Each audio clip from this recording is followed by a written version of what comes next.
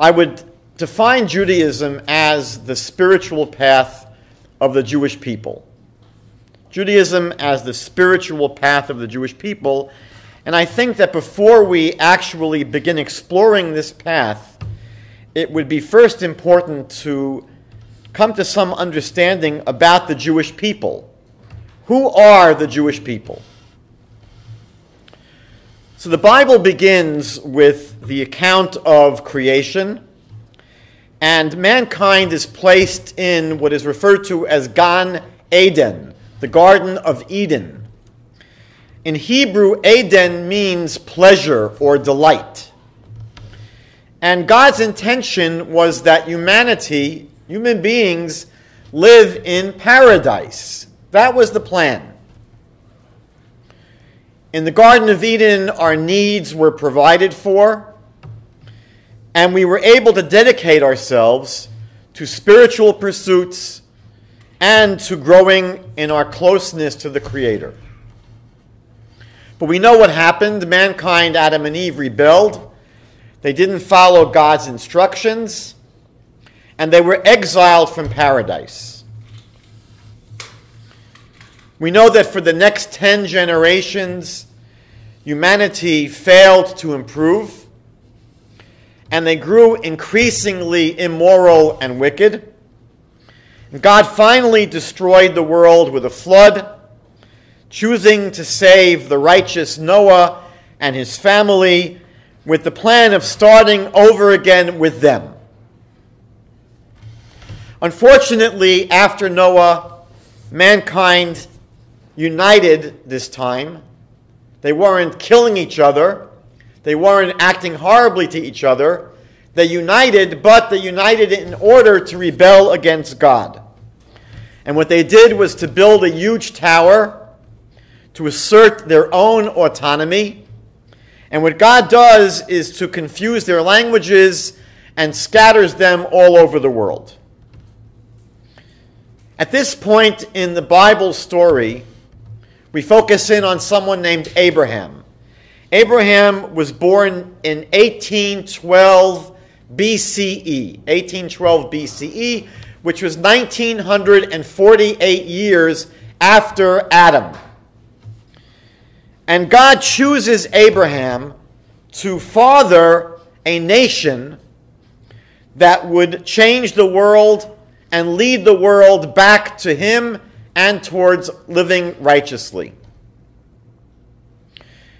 When we first encounter Abraham in the Bible, this choosing of Abraham, God says to him in chapter 12 of Genesis, he tells Abraham, who's living then in the Ur of the Chaldean area, which is today's Babylon, Iraq, and he tells him to pick up and leave his family, leave the land of his birthplace, and travel to some unknown, unnamed land, which will turn out to be the land of Canaan, of Canaan.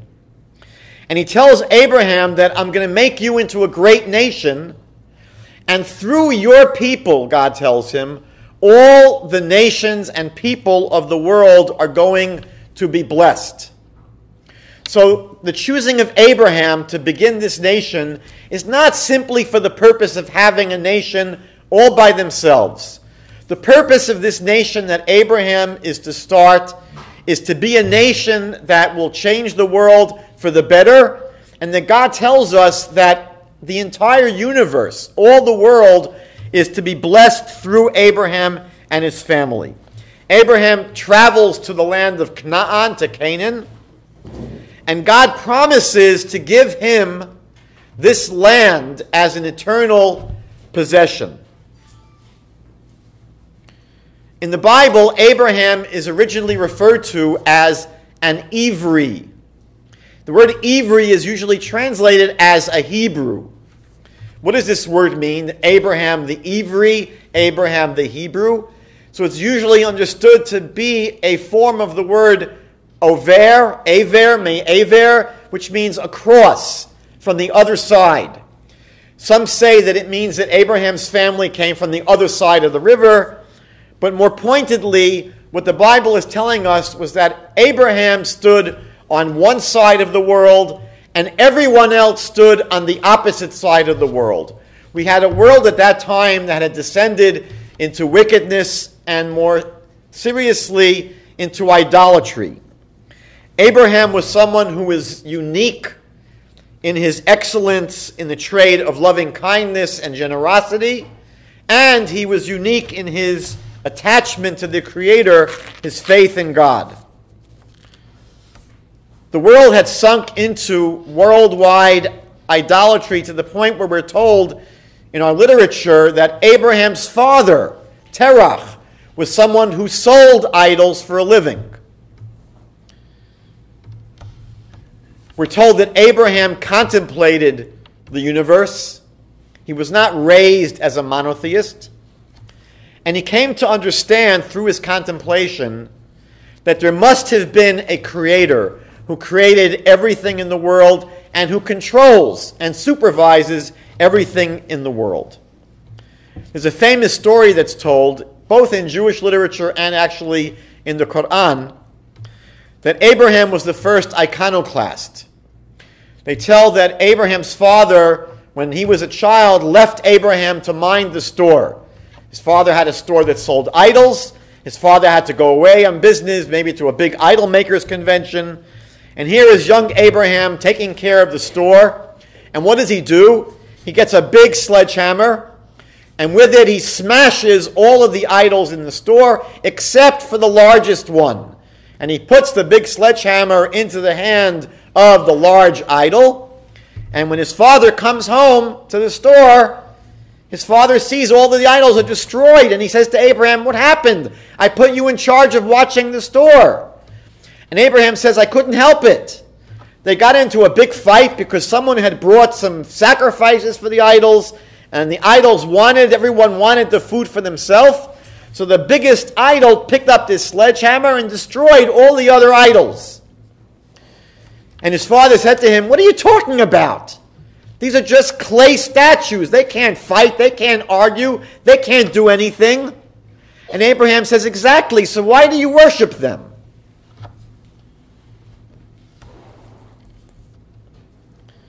And one of the questions that we have to explore is why is it that God chose Abraham for this mission to be the founder of this nation and not Noah? Because the Bible had told us previously about Noah that he was someone that was perfectly righteous. Here we had someone that was perfect and righteous, and God could have chosen Noah to be the progenitor of this special nation. Why does God pass over Noah and choose Abraham for this job. I believe that one of the clues we can find in the fact that both Noah and Abraham each faced the same test during their lifetime. Because both Noah and Abraham were told by God that I am going to destroy the world. Noah was told that there's going to be a flood that's going to wipe out everything. And Abraham was told by God that he's going to destroy the cities of Sodom and Amorah and Admah and Sivoyim, which were the major population centers in the world back then, basically a worldwide devastation. But Noah and Abraham react very differently. Noah says to God, Okay, you're God. I'm sure you know what you're doing. You want me to build a boat and save myself and my family? Fine. I will obey you, God. God, you say jump, and I'll say how high. That's what Noah says. God says to Abraham, I'm going to destroy these cities. And Abraham starts screaming at God, How dare you? God forbid. And he starts to argue with God. And he says to God, What are you doing? Will you, the judge of the whole world, not do justice? He says to God, Will you destroy the righteous with the wicked? What he seems to be saying to God is look, God, if you want to destroy wicked people, I can't argue with you. But if there are righteous people in those cities, it would be evil for you, God, to destroy the righteous together with the wicked. You can't do that. So he says to God something interesting. What you would expect Abraham to say is, Look, God, if there are 50 righteous people in those cities, So take out the righteous people and then kill all the wicked people. Abraham doesn't say that. Abraham says, God, if there are 50 righteous people in those cities, you've got to save the entire city. And then he says, okay, what if there aren't 50? What if there are 45? Okay, not 45. What about 40, 30, 20? Gets down to 10. And God says, fine, if you find 10 righteous people, I won't destroy the cities.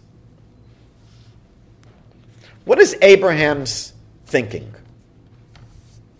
If you look at the Hebrew text, it doesn't just say 50 righteous people in the city. It says Chamishim tzadikim betoch ha'ir. 50 righteous people within the city.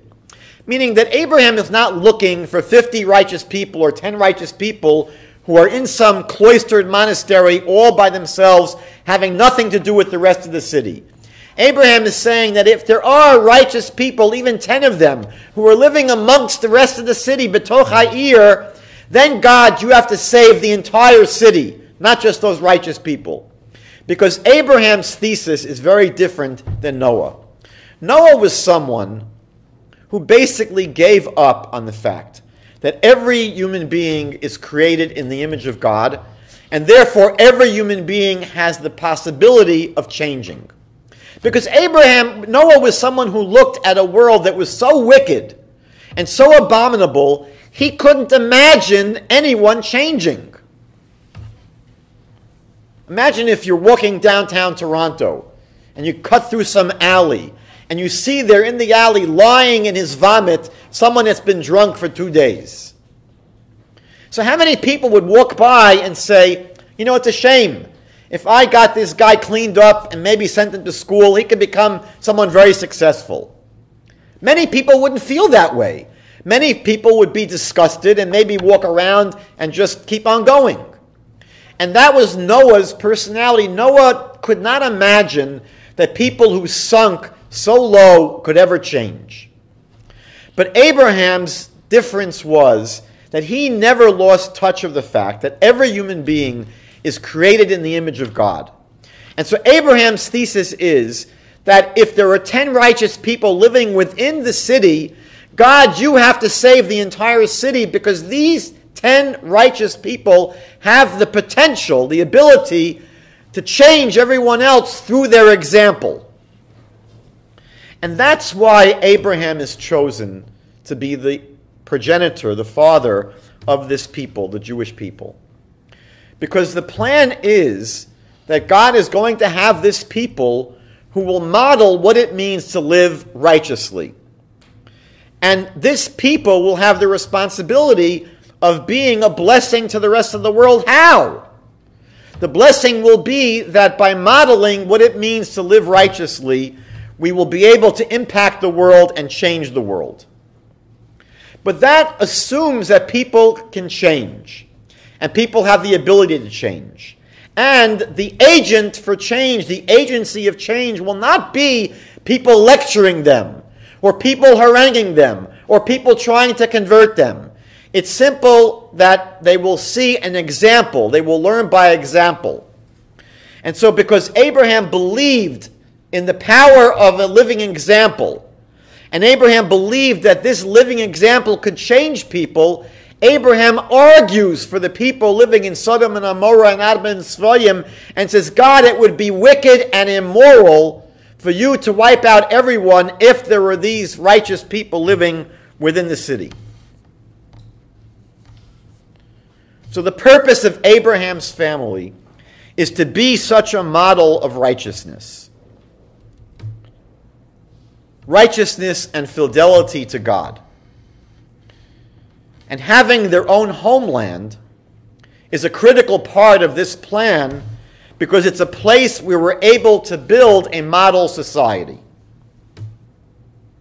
The Bible speaks about Abraham's family in many places. For example, right before the Jewish people received the Ten Commandments, in the book of Exodus, chapter 19, verse 6, God says to these people who are about to receive the Torah, you will be a kingdom of priests and a holy nation. Among the Jewish people, the priesthood are those who are teachers of the rest of the Jewish people. And the Jewish people are told that you are to be priests towards the rest of the world. The prophet Isaiah says twice in chapter 42, verse 6, and chapter 49, verse 6, that you are to be an or lagoyim, a light unto the nations. And that is the vision of God choosing Abraham and Abraham becoming the father of this nation. And the vision is that one day the world will be ready to come to the light that is generated by Abraham's family. The prophet Isaiah says in chapter 60, verse 3, that nations will come to walk by your light and kings by the brilliance of your shine. That is the promise that one day our mission will succeed. The prophet Zechariah, Zechariah chapter 8, verse 23 says that in those days it will happen that 10 people from all the different languages of the nations will take hold, they'll take hold of the corner of the garment of a Jew, and they will say, Let us go with you, for we've heard that God is with you.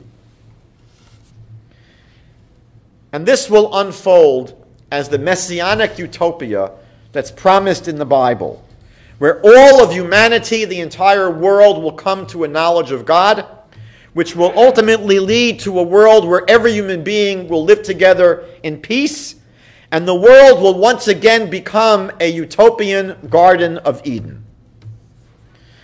Abraham's legacy was carried on by his son Isaac. That legacy was then passed on to Isaac's son Jacob. And we know that Jacob received a second name. Jacob's second name was Israel. Originally, the people of Abraham, as I mentioned, were known as Hebrews. But ultimately, we became known as Israelites. And our homeland, the land of Israel. The family of Jacob, his 12 sons, became a nation during their 210 years of slavery in Egypt. When we came out of Egypt, after seven weeks, we came to Mount Sinai, where God spoke to the entire nation of three million people and began revealing the Torah to this nation. The plan was for them to go directly to the land of Israel, to the promised land, to their ancestors' land. But they ended up having to wander for 40 years in the desert. They finally come to the land after 40 years. They conquer it, they settle it. And several hundred years later, King David's son, King Solomon, finally builds a permanent temple, a permanent sanctuary to replace the portable sanctuary they had built in the desert during the first year in the desert. They had been carrying around with them all those years. They finally have a permanent temple in Jerusalem our first holy temple. However, after the death of Solomon, things began to sour. The kingdom began to unravel, and it split into two kingdoms. The alliance, there was an alliance of 10 tribes in the northern part of the land. This was known as the Kingdom of Israel. The northern 10 tribes was called the Kingdom of Israel. In the south, there were basically two tribes. There was a small tribe of Benjamin and a much larger tribe called Yehudah or Judah. This was called the Kingdom of Judah.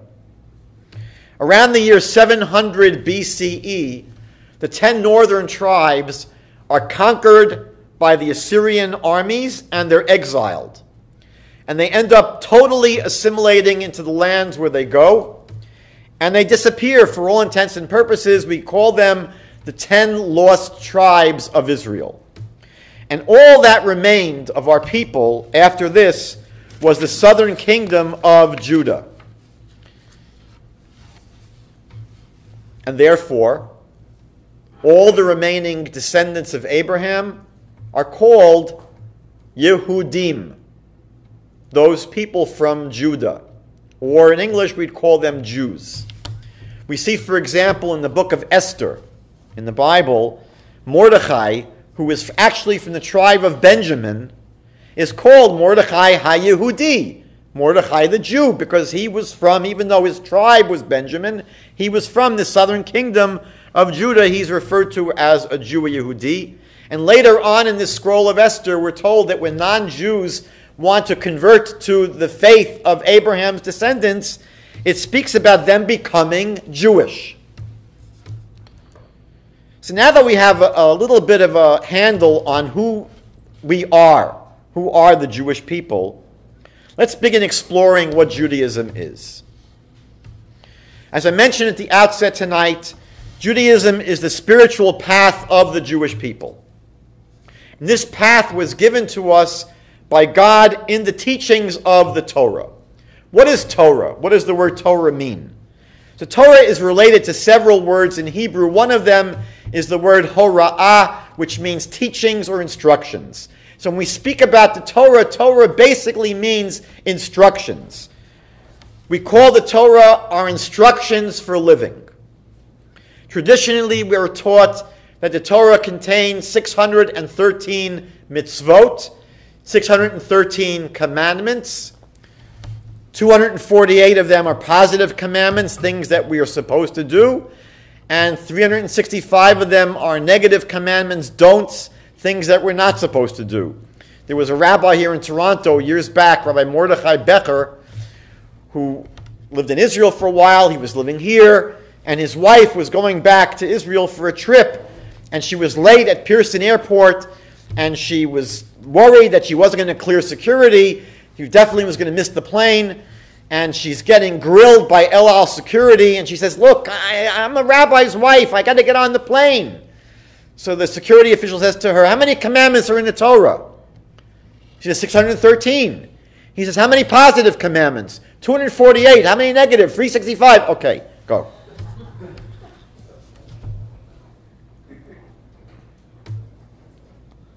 The word mitzvah, however, doesn't only mean commandment. Mitzvah also means connection. And so every mitzvah is not just a commandment, every mitzvah is there to connect us to the Creator, to connect us to the giver of the commandments, and to connect us to our own inner potential. The purpose of all of the teachings of the Torah are ultimately to refine us, to perfect us, to help us grow. There's another word that Torah is related to, which is the Hebrew word for shoot, like to shoot a bow and arrow or to shoot a gun. Why is that related to the word Torah? Because Torah doesn't only include instructions. What Torah contains is tremendous wisdom and inspiration that is able to shoot us in the direction of these teachings, to propel us in the direction of these teachings. It's not just an instruction. Like when it says in Canada, don't go more than 60 kilometers an hour on this road. There's nothing in that instruction which gets you to do that unless you're afraid of getting the fine, the ticket. But the Torah contains positive wisdom and inspiration that helps us move in the direction of its instructions. The word Torah is used generically. When we say the word Torah, it's used generically really for any Jewish spiritual teaching. If I'm going to speak, if I'm the rabbi of a synagogue, I'm going to give a sermon, we say that the rabbi is sharing words of Torah even though he may not quote one word from the Bible. The word Torah becomes a generic term for any Jewish spiritual teaching. But strictly speaking, the word Torah refers to the five books of Moses the Chamishe Chumshe Torah, which are the first five books of the Hebrew Bible. The rest of the Hebrew Bible, we refer to the Hebrew Bible as the Tanakh. And Tanakh is an acronym for Torah. Torah would be those first five books of Moses. The end sound, Na, is Nevi'im, which means prophets, because after the five books of Moses, we have the writings of many prophets, from Samuel to Isaiah and Jeremiah and Ezekiel and a number of other minor prophets, but we have many books of the prophets. The prophets did not come to give us any new laws, any new teachings. The only thing the prophets came to do was to encourage us to follow the teachings that God gave Moses and to berate us or scold us when we weren't doing that. And then the third part of the Bible is the cha part, the ketuvim, which are the writings. And the writings would include books like the Book of Psalms, which is poetry by King David, spiritual poetry, or the Book of Ecclesiastes by David's son Solomon, about the wisdom that we have about the world, or Solomon's Book of Proverbs. There are many other books in the Bible that are not books of the prophets, but different writings. But let's get back to the Torah itself. It's critical to understand that the revelation of God at Mount Sinai was not limited to the words that were recorded in the five books of Moses. In addition to these five books that Moses wrote, there was an accompanying explanation and elucidation that was supposed to remain oral.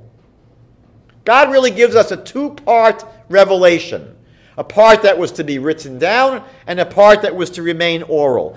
And you can compare these two parts of the Torah to our two eyes. The truth is that if you close one eye, you can see a lot. You can see quite a bit out of one eye. But you're not going to get the clarity of vision. You're not going to see fully. You're not going to see everything. It's only when you look through both eyes that you get a full picture and you get a picture with clarity. Let's look at an example. The written Torah, if you pick up a text of the Bible, it discusses the laws of someone who injures another person. Someone injures another person, and the Bible says an eye for an eye, a tooth for a tooth, a hand for a hand, a foot for a foot. That's in Exodus chapter 21, verse 23. Everyone has heard this. It's called the law of lex talionis, an eye for an eye tit for tat. Does it make any sense? That if I poke out someone's eye, I'm going to be dragged to the court, and the court's going to have someone take a pliers and remove my eye? Can you imagine that's the, that's the case? There are actually at least three problems with this. Three problems with this idea of an eye for an eye. Number one, it is barbaric. It's barbaric. Number two, it won't do any help. It won't help in any way the victim. How is the victim that was blinded or that lost a hand going to be helped by removing the hand of the attacker? It's not going to help the victim. And number three, it's unfair. It's not fair. It's not equitable. Imagine, for example, the attacker was someone that only had one eye. He was a one eyed attacker and he takes out someone's eye. Now, the person he attacked has one eye left. He can still see plenty. But if you're going to take out the remaining eye of the attacker, he's totally blind. That's not fair. Or imagine another kind of case. Imagine that the victim in this case was an opera singer. You can still sing opera with one eye. But what if the attacker was a surgeon or a pianist? If you do that to him, he will not be able to fly planes anymore, or play the piano, or do surgery. So the idea of an eye for an eye is barbaric, it doesn't help the victim, and it's not equitable. So the oral Torah, the oral Torah teaches us you don't take out someone's eye. The attacker has to pay five kinds of monetary retribution, compensation to the victim. Five kinds. Number one, he has to pay for the value of the limb. The court makes an assessment. How much is an eye worth? I don't know how you do it, but they'll determine an eye is worth $100,000, whatever their determination is. The attacker has to pay for the value of the limb. The attacker has to pay for the medical costs and the treatments of healing the person. The attacker has to pay for lost wages the attacker has to pay for any pain that was caused. So they actually assess how much pain the victim experienced and how much she needs to be compensated for the pain. And then finally, they have to pay, the attacker has to pay for the embarrassment Maybe he'll be embarrassed now to walk around the victim with an eye patch for the rest of his life or missing an arm. So they assess five different things that the attacker has to pay. That certainly is not barbaric. It certainly helps the victim, and it certainly is fair. But now we have a big question. If that was the intention of God all along, if God's intention was that if you hurt someone, if you remove their eye, You've got to pay five kinds of damage. So, why in the world did the Torah, when it wrote down the law, say an eye for an eye? Why didn't the Torah just say money for an eye? And the truth is that had the Torah written that, it would have been incredibly crass. Incredibly crass. Take out someone's eye or chop off their hand, and all you have to do is write a check. Is that justice? Is that a punishment that really fits the crime? So the Torah writes an eye for an eye to let the attacker know how wicked and how vile their action is. If you hurt someone like that, you have to know that what you did is so wicked and horrible that on some level you deserve to have your eye taken out. That's what you deserve. However, that would be barbaric, and that would not help the victim, and that would not be fair. So, what happens is the written text, the written text teaches what the attacker deserves to convey how abhorrent their act was. But the oral Torah mediates, it mediates what is written in the written Torah and teaches us that in practice, the attacker pays five forms of monetary compensation. This is the stereoscopic vision of the two forms of Torah. The fact that we have a written text and an oral elucidation allows us to read God's will in stereo. It's much broader than just looking through one eye. What the oral Torah does is to fill in the details that are missing from the written text. If you want to understand the relationship between the written Torah and the oral Torah, here's a helpful analogy. If you have the five books of Moses, what you will get from reading it is a picture of a big house. That house has 613 rooms. That's what you will learn from reading the Torah. And what you'll know is not just that there are 613 rooms, you'll know the name of each room. So you'll know that there's a room called the Sabbath, and there's a room called dietary laws, and there's a room called marriage, and there's a room called Jewish holidays, and there's a room called uh, business law, and there's a room called speech ethics. And you'll have 613 rooms in this house. That's all you will know from reading the text of the Bible. But what you won't know is how big is that room? Is there carpeting? Is there wallpaper? What color? Are there windows? Does the windows have blinds or drapes? Are there electrical sockets in the wall? Is there internet connection? Is there furniture? Meaning that all you'll know from re- reading the five books of Moses is the fact that you've got a big house called the House of Judaism. It has 613 rooms, and you'll know the names of the rooms. You won't have any of the details about what these rooms are really about. Let's give a few examples. Deuteronomy chapter 12, verse 21 speaks about someone that wants to eat meat.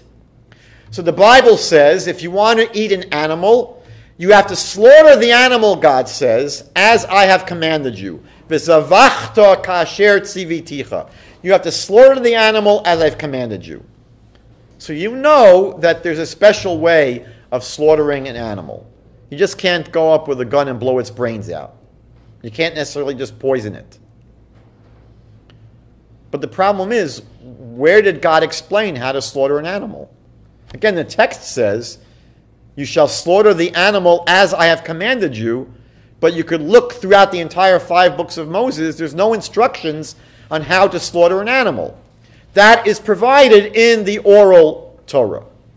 Or in the written Torah, it says numerous times that on the Sabbath you cannot do any milacha. Now, it's taken very seriously. In the Bible, it's a capital crime to do any milacha on the Sabbath. The problem is, we have no idea what this word means. There's no cognate word. It doesn't appear in other places. It's not the word in Hebrew for work. So the Bible doesn't say on the Sabbath you can't do any work. It says on the Sabbath you can't do any melacha, and if you do, you're in big trouble. So the problem is, what are we not supposed to do? And the Bible never tells us. So the oral Torah explains that melacha is defined as 39 conceptual activities, 39 conceptual categories of activity. For example, you're not allowed to do weaving on the Sabbath, making clothing, or you can't write, can't write in a journal. And that's exactly what happens between the written Torah and the oral Torah. The written Torah basically is the big picture, the oral Torah are the details. And this oral Torah was supposed to remain oral, and it did remain oral for about 1,500 years. We maintained it as an oral tradition. But the problem was that after 1,500 years, we were living in the land of Israel and it became impossible for us to have any peace, to be able to study and commit this to memory, because we were living under a brutal Roman occupation. The Romans were killing Jews left and right. The Romans made terrible edicts against the Jewish people. We had no peace. We couldn't study. It was impossible. So the sages at that time, about the year 200 CE, about 200 CE, about 1800 years ago, the sages said, look, if we don't commit some of this oral law to writing, it'll be forgotten. So, what they did around the year 200 CE is they composed a short outline of the oral Torah, just the basic high points, the basic ideas, almost like if you're studying for a test, this will be your con- condensation of your notes, so that if you have this document, you'll be able to remember everything else. And this original condensation of the oral Torah was called the Mishnah. Around 200 years later, the Mishnah text was expanded by compiling all the commentaries and discussions that were had about this text into what was referred to as the Jerusalem Talmud. So the Talmud is an expanded version of the Mishnah. It was first redacted around the year 400 of the Common Era in Jerusalem, and then about 150 years later in Babylon, which we now have as the Babylonian Talmud. The Talmud has six sections, they're called six orders. And these six orders comprise all of Jewish law. The first of these six orders basically discusses the laws of agriculture in the land of Israel. The Bible has special laws about agriculture in the land of Israel. The second part of the oral Torah discusses the different Jewish holidays, the Sabbath and all the holidays. The third part of the oral Torah discusses the laws of marriage and divorce and all the related laws to that. The fourth area of the Talmud discusses civil law, torts, damages, employer employee relationships, lost and found, all the laws that would apply to civil law. The fifth section of the Talmud discusses um, the sacrificial system in the temple, and the sixth section of the oral law discusses the laws of ritual purity and impurity. Now, in addition to all these legal discussions, the oral law also has numerous stories and spiritual teachings that convey the goals and the meanings, the inner meanings of the commandments, and the ideology of Judaism. Judaism is not just a bunch of laws. There's a philosophy, there's an ideology. So the Talmud contains both law, L A W, and lore, L O R E. Now, a very obvious question, which I'm hoping all of you are asking yourself. Why is it that God gave us a Torah that had a written and oral part to it? Why didn't God just make everything written? Why have part of it oral and part of it written? Just put everything in a book. It's going to be a big book. It's going to be humongous, but stick it all in a big book. What is gained by having it split into an oral and a written Torah? Now, the truth is, there are numerous answers to this question. We're going to be having one of our lectures this spring is going to be on the Talmud itself, and we're going to delve into this question very deeply. But I want to share one answer tonight. When God created the world that we live in, God's intention was that we be active participants in the world. Everything is not simply presented to us on a silver platter, where we passively partake of the world.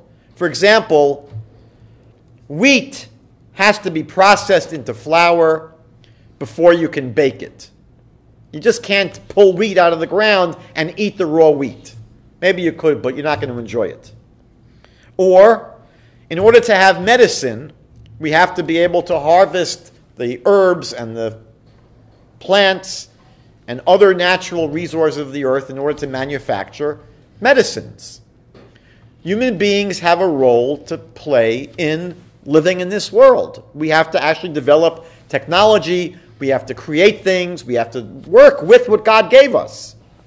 And so, in the same way that God expected human beings to be active participants in the world that was created, the physical world. That was his design for the Torah as well. God didn't want human beings to just be passive babies that just always get the answer from mommy and daddy.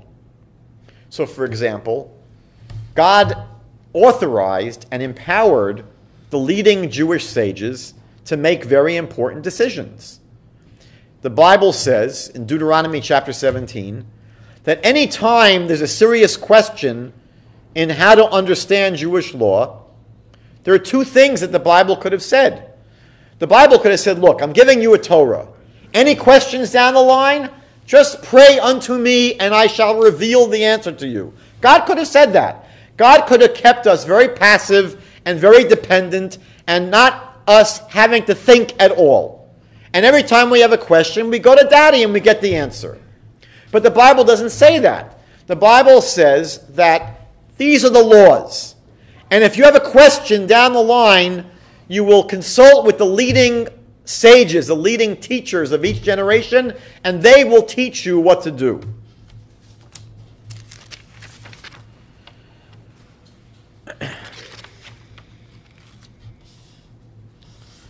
And we'll find in the oral Torah, because the oral Torah is that part of the Torah which is not circumscribed by what was written down.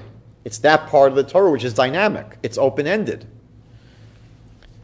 We see that the Talmud contains many teachings that go beyond what God revealed to us.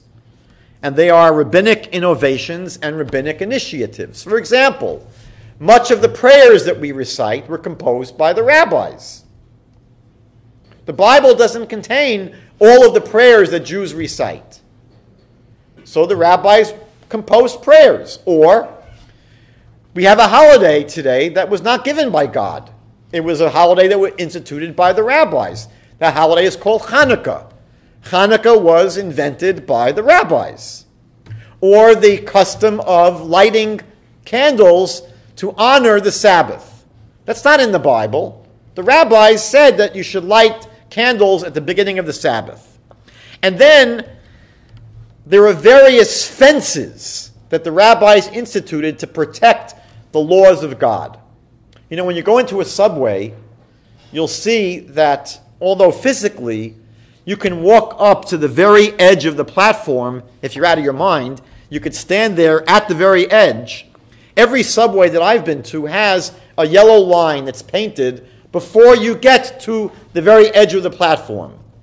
And they're saying basically, look, if you want to be smart, don't stand at the very edge of the platform. Stand on this side of the yellow line. So, what the rabbis were able to do was to paint a yellow line around the laws of the Bible. For example, you read through the Bible, you'll find plenty of forbidden sexual relationships. You're not supposed to have sexual intercourse with certain people. Fine. But what about hugging and kissing that person? What about being alone with them in a locked room? Is that okay? Well, the Bible itself, God never said you can't go to third base with them. But the rabbis said, you know what? If God is teaching us not to sleep with that person, we are going to say, you know what? You'd be smart not to hug them and kiss them and be alone with them in a locked room. That's what we call a rabbinic fence that's there to protect the Torah law. Another example. I mentioned before that in the oral Torah that God gave us, one of the things that we're not supposed to do on the Sabbath is to write. You're not supposed to write on the Sabbath. Now, is there any problem, according to the Torah, with having a pen that you're walking around with? No, the Torah just says you're not allowed to write. But the rabbi said, you know what? Since we're so used to writing with a pen, if you want to be smart, don't walk around with a pen on the Sabbath because you may come to inadvertently write with it. So, what the rabbis legislated were fences around the Torah, what I would call the yellow line, in order to protect people from falling in.